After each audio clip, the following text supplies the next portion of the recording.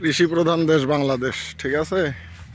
এই দেখেন, চারদিকে মাঠ চারদিকে মাঠ, ধান ধান আবাদ করছি আমরা মানে আমাদের কৃষকেরা।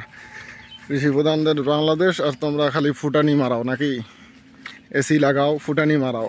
এই এসি না লাগায় দুইটা করে গাছ লাগাবি হারামজাদারা।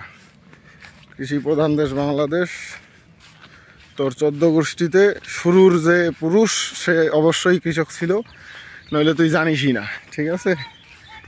তো গাছ লাগাও বেটারা, গাছ লাগাও। এসি না লাগায় গাছ লাগাও।